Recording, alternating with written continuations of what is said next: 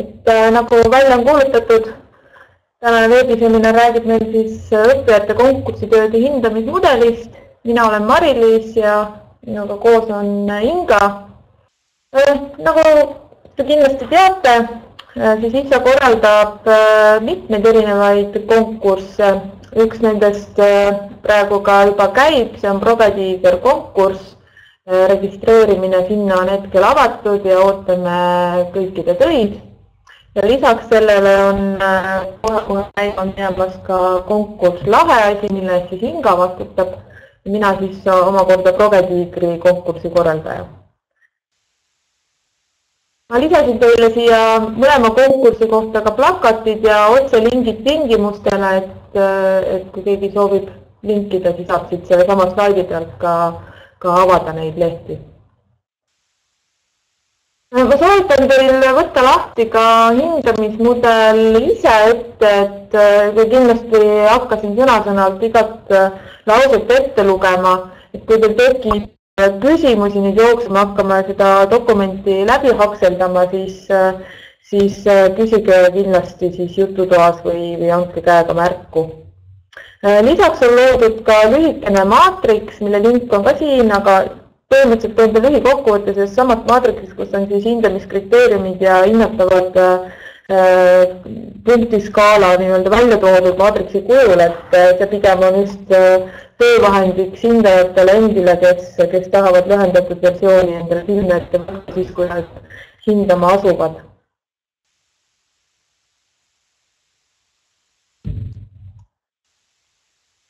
hindamismudel on siis äh, vastne dokument, valmis ta selle aasta suvel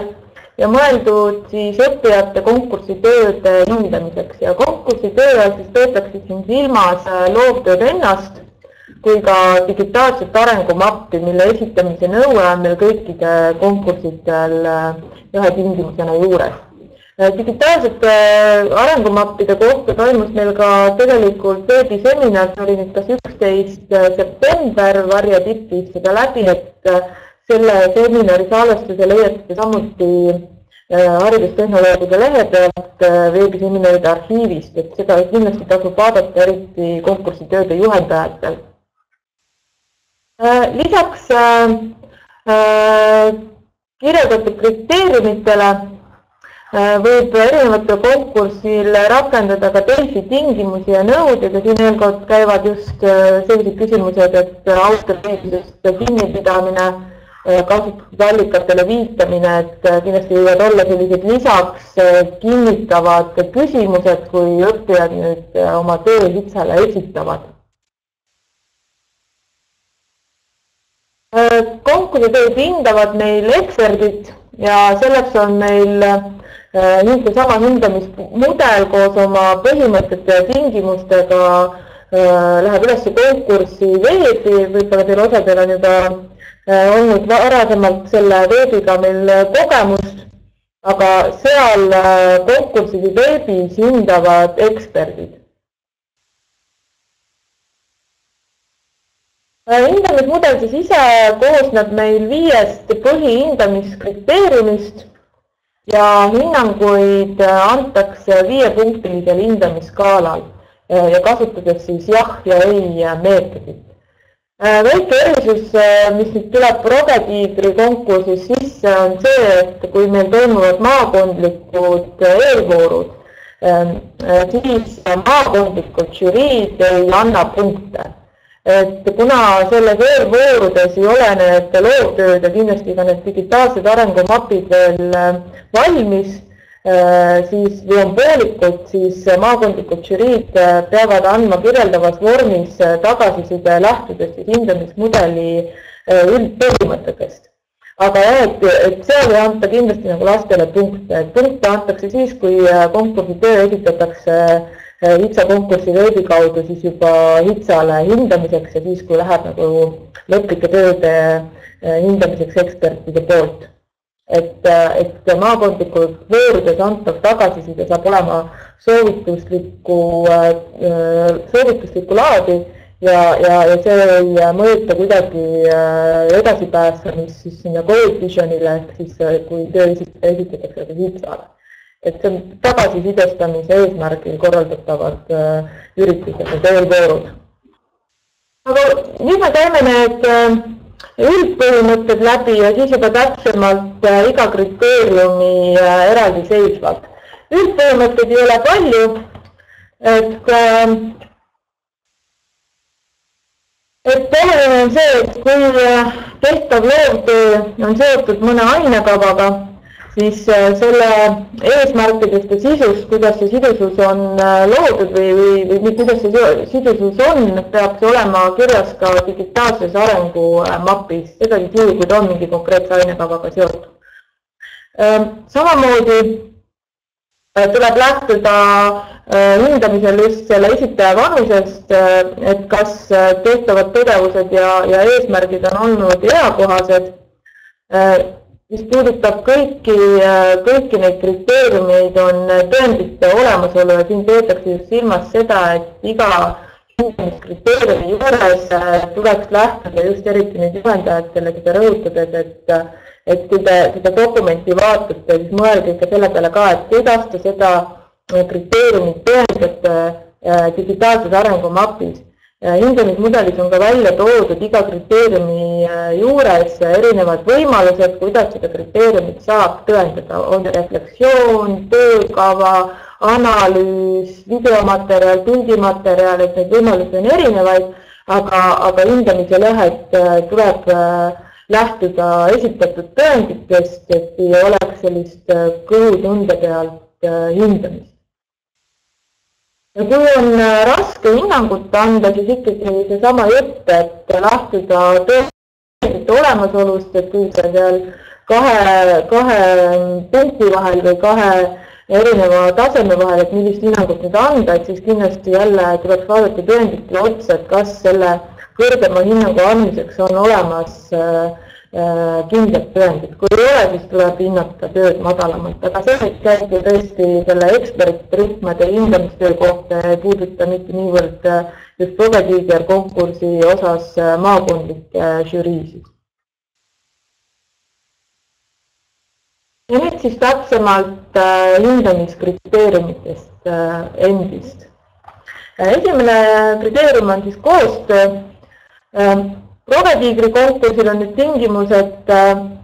et meeskonnad peavad olema kahe kuni äh, viieliikmelised, aga näiteks Laheasi konkursil võib esitada tööd ka individuaalselt.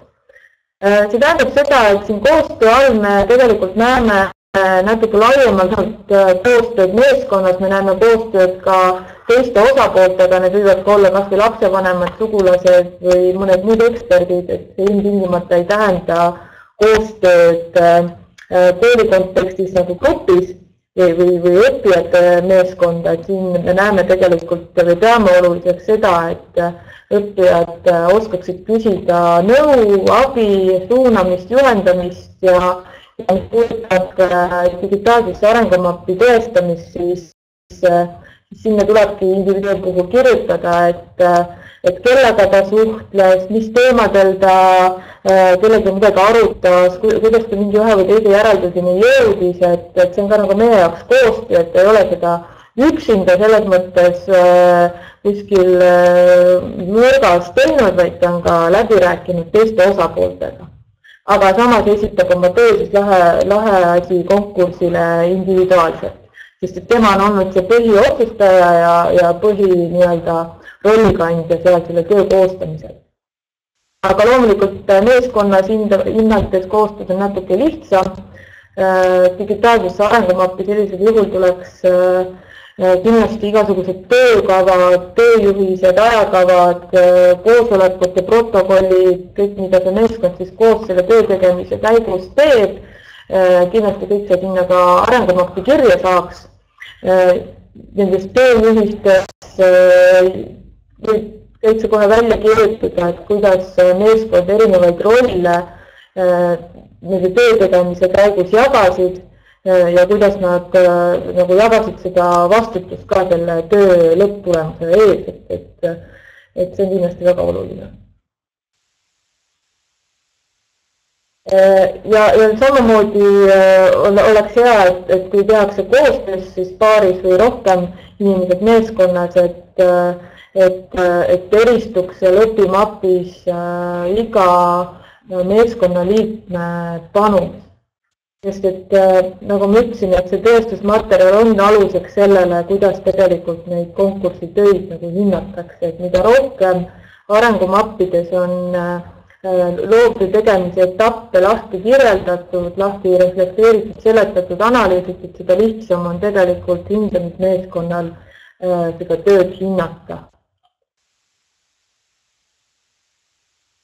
ja hindamine käib siis, nagu ma ütlesin, ka jah, äh, ei äh, vastustega. Ähm, täpselt sellises järjekorras, nagu te siin näete, need küsimused ekspertidele ette antakse. Äh, kui nad vastavad siin esimese küsimuse puhul, et ei, see ei kehti, siis visatakse neid järgmisesse hindamiskriteeriumisse ja rohkem neid küsimusi ette ei saa aga kui nüüd nad vastavad jah, siis nad niimoodi liiguvad punkt punkti haaval kuni siis selle viimase küsimuseni, nad vastavad jah, saavad need viis punkti ja, ja see kriteerium on hinnatud. aga jällegi see käib siis jällegi ekspertrühmade hin hinnangute kohta, mitte niivõrd selle maakondliku žürii hindamise kohta. on küsimusi kellelgi ka vahepeal tekkinud? võite julgelt kirjutada. Teine hindamiskriteerium on siis teadmiste kasv ja interdistsiplinaarsus. Äh, siin tuleks nagu lähtuda sellest, et, äh, et äh, õppe jaoks on see teadmine uus ka siis, kui ta puutub sellega esmakordselt kokku, et võib-olla meie, meie jaoks täiskasvanutena võib-olla ei ole see teadmine midagi, midagi niivõrd uut, aga kui me näeme, et see lapse iga ja ealisust silmas pidades, et tema jaoks on olnud see nii-öelda avastusretk, selle loovtöö tegemine, siis on see tema jaoks uus ja siis tuleb seda ka niimoodi hinnata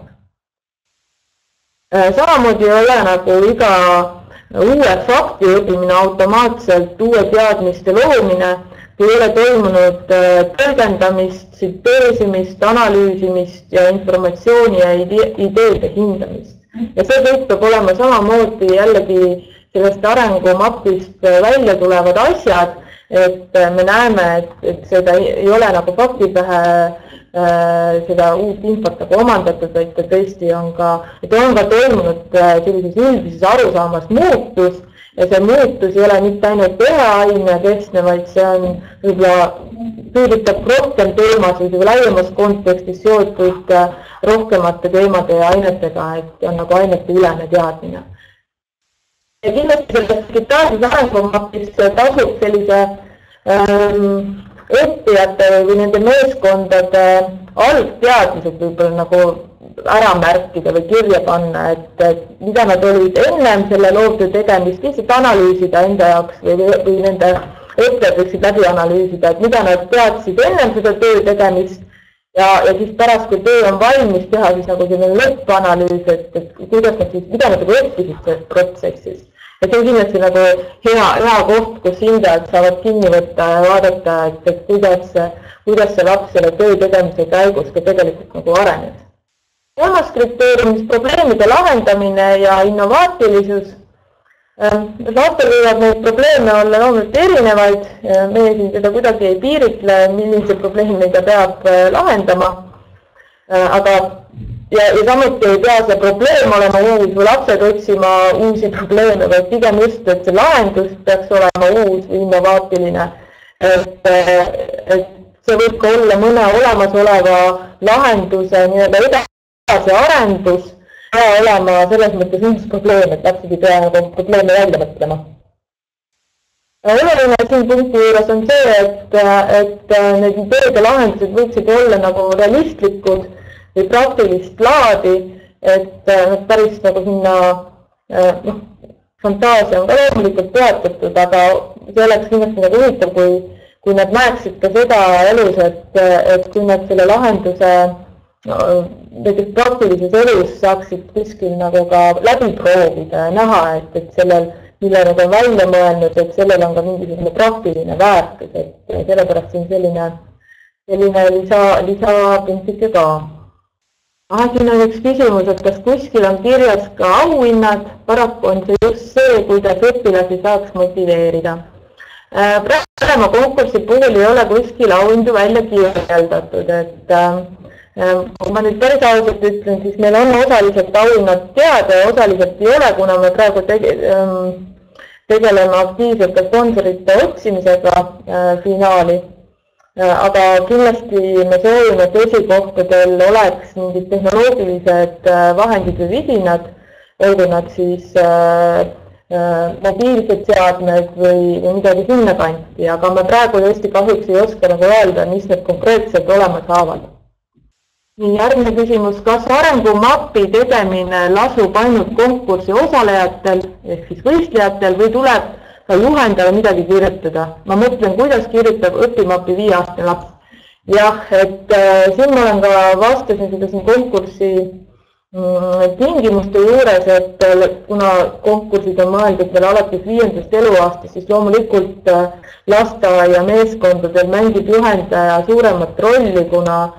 kuna see on arusaadav, et need viie, kuue ja seitsmeaastased ei, ei ole erilised kirjamehed et äh, siis tegelikult peab olema juhendaja see, kes selle meeskonna töö võtab kokku ja, ja kõiki nii-öelda neid nõutavaid äh, tõendusmaterjale sinna arengumappi lisab. ainuke, mis siin nüüd tekib, ähm, et kindlasti tasub küsida, tuleb küsida, kui kasutatakse arengumappides äh, videoid lastest või, või pilte lastest, meil on konkursi tingimuste juures olemas lapsevanema nõusoleku vorm et tuleks kindlasti küsida luba nende piltide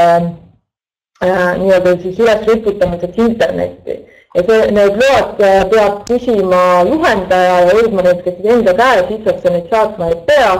et äh, aga need tuleb, äh, tuleb kindlasti äh, siis vanematest nagu kokku korjata, et äh, kui, kui lisatakse sellist äh, pildimaterjali või filmimaterjali äh, arengumappidesse. Kuna arengumapid lähevad äh, Great Visioni ajal, kui ma räägin nüüd Progetiigri kontekstis äh, äh, avalikuks hindamiseks, siis need arengumapid peavad ka olema kõigile avalikult ligipääsetavad. Ja samamoodi peavad nad olema ligipääsetavad ka maakondlikele žüriidele, kuna maakondlikud žüriid annavad otse digitaalsesse arengumappi selle esimese tagasiside seal maakondlikus voorus ma loodan, ma nüüd vastasin sellele küsimusele. nii, lähme neljanda kriteeriumi juurde, IKT vahendite kasutamine ähm,. hea oleks äh, loomulikult tuua ära digitaalsesse arengumappi jälle põhjendused, miks just valiti äh, need vahendid selle töö tegemiseks äh,. Ja see IKT vahend ei saa ka olla äh, kuidas öelda, see asi iseenesest, et ta on ikkagi vahend selle loovtöö tegemiseks. ja, ja samamoodi äh, läheb siin igasugune informatsiooni leidmisele peab ka läbi IKT vahendite kasutamise peab järgnema ka tõlgendamine, analüüs, tees hindamine ja, või miks seda, seda nii-öelda IKT vahendit kasutatakse ainult informatsiooni äh, reprodutseerimiseks. Äh, samamoodi tasub nagu jälgida seda, et kas äh, need kasutatud IKT vahendid olid sobilikud äh, lähtudes konkursside sisust ja õpilaste vanusest. ja, ja väga oluline on see, et, et kui vähegi või kui on selgelt näha, et nende IKT vahendite kasutati ebaeetiliselt, ehk siis need IKT vahenditega siis need programmid on hangitud ebaseaduslikul viisil, ehk siis on tegu piraatlusega, siis see töö äh, ei lähe arvesse. ja kindlasti on nagu maakondlikel äh, žüriidel, kes nüüd Povetiider kontekstis äh, hindavad, et kui te panete tähele või kui te küsite seal maakondlikus voorus nende õppijate käest, et kas, et kui teil tekib kahtlus ja te peate seda küsima,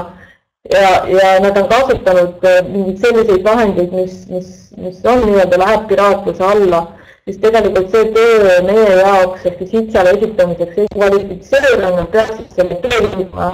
HITSA tarvis siis tööndust äh, nagu korda teha. et ähm, kas nad kasutavad siis mingit legaalset tarkvara või vahendit selleks või, äh, või siis või siis hangivad selle, sellesama kasutatud tarkvara litsentsidest, et me peame nagu järgima ka seda nende eetilist, eetilist IKT kasutamist. ja, ja loomulikult väärtust tõstab avatud ja vaba tarkvara kasutamine, eriti selline kui me siin räägime, et, et need loovtööd ja need arengumapid peavad olema kolm aastat avalikult kättesaadavad, et siis kui keegi leiab või teeb sellise innova, innovaatilise lahenduse, et siis igasugune vabatarkvara kasutamine kindlasti annab ka võimaluse selle idee rakendusele praktilises elus olla, et, et siin tasub ka seda, seda jälgida. siin vahepeal üks küsimus nii, kus see piir siis jookseb, et oletame, kümneaastane teeb suures osas oma õppima ise, teisel rühmal koostab suurema osa juhendaja. Kuidas eksperdid seda äh, hindavad? meie hindame selle konkursi töö sisulist poolt, mitte seda, kui äh, oskuslikult on sinna need asjad kirja pandud et äh, ja igale tööle loomulikult ju vaadatakse ekspertide või hindajate poolt äh, individuaalselt otsa ja kui nad on esitanud selle töö sellesse, sellesse vanuserühma, mis see esimene vanuserühm oli, see viis kuni üheksa aastased, siis hinnatakse neid ju vastavalt ka selles vanuserühmas, et, äh, et gümnaasiumi õpilasi kindlasti ei hinnata koos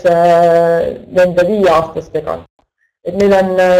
konkursid ju jagatud ka vanuserühmati, et, et kõik, kõiki ei hinnata nagu ühes potis.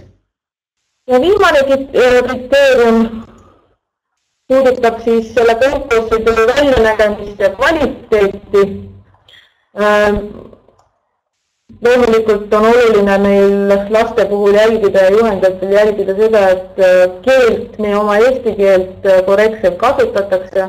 et noh, viga siin või seal, et see on nagu arusaadav ja endagi juhtub. aga et kui on nagu näha, et läbivalt äh, on, on äh, vigu täis tekst, siis on õigus äh, žüriil seda ka kommenteerida ja, ja paluda nii-öelda keeleliselt see tekst üle vaadata. samamoodi on oluline, et digitaalses arengumapis oleks korrektsed viited, eriti kui kasutatakse väliseid allikaid kõik äh, videod, helifailid äh, peaksid olema töökorras ja, kvaliteetsed. ja üldse, mis puudutab selle visuaalsuse ja, ja kvaliteedi hindamist, see peaks olema nagu moodustama sellise ühtse terviku. et, et seda oleks nii-öelda silmale kena vaadata ja oleks ka nii-öelda struktuuri poolest hea vaadata et see loomulikult äh, tuleb nüüd lähtuda sellest, et konkursitööd äh, alla käib nii loovtöö ise kui ka see arengumapp ja need tingimused käivad nende mõlema asjade kohta. et olenemata siis, äh, kas on tegu mingi konkreetse 3D-s välja printesemaga või, või, või mobiilse äpiga või, või siis sellesama arengumapi endaga, et, et täpselt samad tingimused kehtivad ja, ja neid nagu tuleb ka jälgida. siis rohkem nagu ei oskagi välja tuua, et äh, nüüd on nagu see hetk, kus äh, ma soovitan teil igasuguste küsimuste puhul kohe küsida, sest et pärast hiljem enam äkki ei mäleta, et kus, kus probleem tekkis loomulikult olen mina ja Inga kättesaadav ka telefoni ja kirja teel. kui kellelgi peaks nüüd äh, hiljem äh, tekkima mingi probleeme selle hindamismudeli osas. aga, aga, aga meie poolt praeguseks nüüd küsimused kõik. et äh, nüüd me ootame veel natuke aega, et äkki kümme, kümme-viis minutit, et, et vastata teie küsimustele siin on tulnud küsimus, äh, kas kriteeriumite osakaal on võrdne või on mõni kriteerium olulisem teine ning kõik kriteeriumid on võrdse kaaluga. kõik kriteeriumid on olulised, neid kõiki hinnatakse ja kõik, kõikides kriteeriumites on maksimum viis punkti võimalik saavutada ja, ja kõigi viie kriteeriumi peale kokku siis moodustub see ühe töö hinnang võib-olla see käis juba läbi, aga millises staadiumis peaks töö koodviigi ajaks olema? Ja see on mitu korda küsitud. Äh,. ei ole pandud mingit piirmäära, mis staadiumis ta peab olema, nagu ma olen äh, varasemalt öelnud, et äh, koodviigi ürituste eesmärk on anda õppijatele tagasisidet, ükskõik kui kaugel see töö siis on, loomulikult mida kaugemal see töö on, seda adekvaatsemalt saavad anda žürii liikmed äh, tagasisidet, aga kui, kui tullakse ainult see arengumapp ja, ja mingid ideed, et siis, äh, siis, siis ta on täpselt nii kaugel, kui ta on, et me ei ole praegu pannud küll, et see code viigi jaoks ta peab nüüd olema, ma ei tea, seitsekümmend või kaheksakümmend protsenti valmis, et, äh, et me ei ole sellist tingimust loonud, et ma saan aru, et meil see ajaline, ajaline graafik on suhteliselt tempokas ja kiire, et pea, peaasi on see, et oleks valmis selleks kolmekümne esimeseks oktoobriks kui, kui selle töö peab esitama HITSA-sse. ja nagu ma ütlesin, et, et nii mina kui Inga oleme nii meilitsi kui ka telefoniti kättesaadavad nii loendajatele kui ka hindajatele, kes siis, kellele see juhend on tegelikult ju mõeldud ja, ja, ja, ja ma loodan, et noh, et õppijatele siis ega selgitate ja mõningaid asju siis selleks, et, et arengumapid saaksid äh, võimalikult sisutihedad. me veel ootame viis minutit, ma arvan, et, äh, et kui kellelgi on, nii, tuli küsimus, kas arengumapi kondikava võib juhendaja koostada? ja ikka. Äh, nagu ma ütlesin, siis siin kaks nädalat tagasi Varje Tipp tegi digitaalsetest arengumappidest veebiseminari, Kristi võib selle lingi siia visata, kui ta nüüd kuuleb. et seal tegi ka Varje live-pinderis vist oli kaks näidist äh, ja neid vorme, kui teha ennast seal kasutajaks, saab kopida nii-öelda enda äh, kasutaja profiili, et tegelikult on mingid põhjavormid isegi Varje pealt tehtud olemas, et äh, et neid võib sealt vabalt kopeerida endale Triinu, kui sul on äh, küsimusi ja tahad minuga otse rääkida, siis sa võid mulle helistada, et, äh, et ma, kui, mis puudutab just seda arengumapi osa, ma saan aru, et, et see ei vastanud sinu ootustele. mis see tähendab, et sa ootad huvilised ära? õpilased kui huvilised või? kas te ootate õpilased ära või huvilised? just õpilasi. tuleb ise natukene utsitada. utsitada töö selja tagant neid, ega õppijad muidu võib-olla kinni ei haara. see juhendaja roll äh, ei olegi mitte niivõrd äh, ette öelda, mida nad tegema peavad, et need igasugused sisulised ettepanekud peaks loomulikult tulema äh, õppijate poolt ja nende meeskondade poolt, aga, aga juhendaja roll on kindlasti olla see, täpselt nagu Inga siin kõrval ütles, see utsitaja ja see taganttõukaja, kes siis äh, Äh, neid nii-öelda tööle sunnib, kui niimoodi saab öelda. et äh, noh, siin on nagu jah, seda on toonud paljud, et üks tund nädalas, et siin kindlasti ei tasu seda äh, konkursi töö või loovtöö tegemist võib-olla siduda selle vahetunniga, et siin võib-olla annab kokku rääkida ka teiste õpetajatega ja siduda selle loovtöö tegemine teiste tundidega ka, et, et et nii-öelda tegeledagi selle lõiminguga, millest me siin väga palju nagu räägime ja, ja interdistsiplinaarsusega, et miks mitte siin kaasata matemaatikaõpetajad, füüsikaõpetajad, muusikaõpetajad, kuna üks kategooria on muusika, et nad saavad ju tegelikult äh, läbi selle võib-olla tegeleda selle tööga rohkem erinevate tundide raames. ma tean, et osadel koolidel alustavad oma uurimustöödega ka juba päris varakult, et äkki saab ka seal selle loovtöö siduda uurimistöö tegemisega. et selleks on ka nähtud minu teada eraldi aeg. kriteeriumite osas äh, teil vist äh, küsimusi ei ole, et me oleme väga hea mudeli kokku kirjutanud kõik on selge ja arusaadav, et äh, aga nii palju ma ütleks küll, et, et nagu ma seminari alguses mainisin, et mudel valmis meil siin suve hakul ja, ja ta läheb nii-öelda siis nende kahe konkursi puhul esmakordsesse kasutamisesse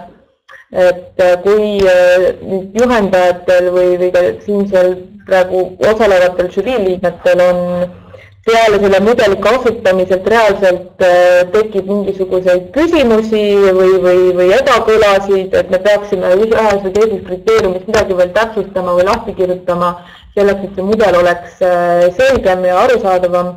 siis äh, andke meile kindlasti see tagasiside, et me saame ju, see, see ei ole kuidagi kivisse raiutud, see dokument, et seda me saame järgmistel aastatel ka siis vajadusel muuta üks küsimus, väga hea oleks üheksanda klasside loovtöö progetiigriks pakkuda, aga tähtajad on liiga kiired, lihtsalt ei jõua. jah, et kas see kolmkümmend üks oktoober on ka liiga hilja? liiga vara. Või liiga vara tähendab sest et noh, nagu ma ütlesin, see kooligi ajal äh, ei pea see töö olema valmis, et see töö peab olema valmis tegelikult oktoobri lõpuks, et siis on kool kaks kuud juba kestnud. see täitsa oleneb, ma olen siin erinevate koolidega suhelnud ja, ja ma olen aru saanud, et see on kooliti väga erinevad, et osad hakkavad kohe kooli alguses nende loovtöödega tegelema ja osad hakkavad alles järgmisel, järgmisel äh, poolaastal sellega tegelema ehk kevadel, nii et see on täiesti seinast seina, et kooliti, kooliti on nagu erisused aga võib-olla mõnest äh, loovtööst kasvab välja see, see uurimustöö. et äh, samas on, äh, kui nüüd tõesti ei jõua, siis kevadel on Laheasi konkurss, mis on ju ka tegelikult loovtööde konkurss, seal küll ei ole võib-olla nii oluline, et ta on tehnoloogiaga, tehnoloogiaharidusega seotud konkurss, et sinna võib esitada erinevaid loovtöid, aga tingimus on sama, mis Prove-Tiigri konkursil, et loovtöö peab olema esitatud läbi digitaalse arengumapi ja, ja digi- ja Laheasi konkursi tähtaeg on siis äh, kuusteist märts. et äh, sinna nüüd veel aega on ja sinna võib esitada erinevaid äh, loovtöid, et äh, ei pea olema ainult põhikooli õpilaste omad, võivad olla ka väiksemad ja, ja ka vanema klassi omad. Aga praegu me ikkagi ootame peaasjalikult tehnoloogiaharidusega seotud huvitavaid töid ja ettepanekuid, mingeid äh, äppe või programme, et Ähm, kui nüüd tõesti väga tundub, et on kiire või lapsed ise ei ole huvitatud väga, et siis alati on ju võimalus ka siis oma tööd arendada ja esitada siis teisele konkursile või siis järgmiseks aastaks. lahe asi konkursi kohta ma ütlen nii palju, et äh, konkursi tingimused on äh, Innovatsioonikeskuse lehel üleval. et Kristi vist enne siin pani selle lingi ka. et äh, ja ka selles slaidishow's on see olemas, et sealt saab täpsemalt siis lugeda aga erisus on nüüd Progetiigriga tõepoolest see, et äh, laheasi konkursile võib esitada ka käsitöötunnis näiteks tehtud mingi asja või siis ka mingisuguse veebimate-, noh õppematerjali. et Progetiigris ootaks midagi niisugust innovaatilistest. nii innovaatiline, aga teemad ära et, äh, et noh, mis see nagu Progetiigri eelis või miks me nii nii vara, varajase või, või kiire graafikuga ole, olime või oleme, ongi see, et, et me otsustasime siduda selle eelvooru või, või selle tagasisidestamise Covid-viigiga, mis on siis üle-euroopaline äh, nii-öelda sündmus. Et ähm,, et kuna me tahtsime ka, ka selles näidata, et ka Eestis midagi tehakse coding'u vallas või kodeerimise vallas, et äh, siis me otsustasime, et me teeme nii-öelda sellele Rogatiigri voorule või, või konkursi sellised eelvoorud. Äh, ja minu arust on see nagu hea, hea võimalus õppijatel niimoodi proovi esinemist teha ja, ja saada tagasisidet nüüd ka kellelgi teiselt kui ainult oma juhendajalt, et äh, see teeb sellest konkursist võib-olla niisuguse mm, mõnevõrra võib-olla kraadi võrra natukene avatumaks ja paremaks, et, et ei ole kohe kohe ei pea selleks lõplikuks hindamiseks esitama, et, et saab ka vahetut tagasisidet. ja auhinnad on head Progetiigril, nii et on väärt küsimist kuigi täpselt võib-olla ei saa kõike välja öelda, aga et ma arvan, et äh, võime öelda ikka, et on head. juba need eelvoorudel osalemised ise peaksid lastele olema põnevad üritused, kus nad saavad näha, mida teised on siis teinud ja nad saavad võib-olla sealt mingit uut snitti ja, ja nii edasi, et äh, ja praegu käib meil ka Facebooki kampaania, et, et kutsume siis äh, meeskondi registreerima, et kui te lähete Progetiiger äh, Facebooki lehele, siis äh, jagage meie pilti, kus on see droon peal, mis lendab lauluväljaku kohal, kus siis meie superfinaal toimub. et nagu siis aru saada, läheb jagamiseks üks väga äge helikopter või droon, mida saab siis nutiseadmega lennutada Ehm, küsimus on siin, et kuidas, kuidas, mis me arvame, et palju Kogetivi konkursid olid tulevad, et me loodame, et palju aga küsimus on nagu see, et eelmine aasta õpilaskonkurss äh, näitas seda, et äh, tööd hakkasid laekuma kaks päeva enne tähtaega, nii et äh, me oleme targemad nädala pärast. jah. praegu me oleme, me oleme optimistlikud veel. me oleme veel, me oleme optimistid ja et, et vaatame, et me oleme nüüd siin kõvasti reklaami teinud mitmetes kanalites, et isegi, isegi president äh, jagas oma seinal meie Progetiiger konkursi infot, nii et ma loodan, et, äh, et, äh, et meil ikkagi tuleb see kriitiline kogus töid kokku, et, et kõikides kategooriates ikkagi oleks meil, mida hinnata. aga kui teil nüüd rohkem küsimusi ei ole, et siis saate seda salvestust ka hiljem järgi vaadata ja teil on linkid olemas äh, hindamismudeli kohta, mis aitab kindlasti ka seda tööd teha. igal juhul jääme ootama teie töid.